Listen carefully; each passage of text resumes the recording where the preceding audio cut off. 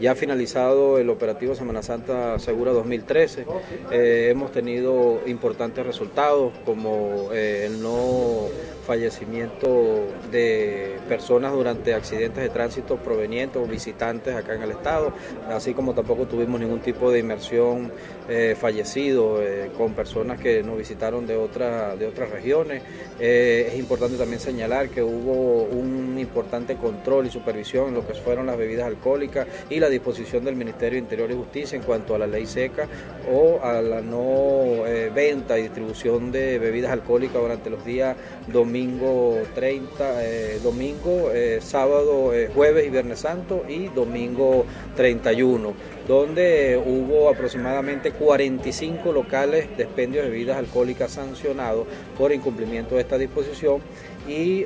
fueron puestos a la orden de la municipalidad correspondiente para las sanciones respectivas.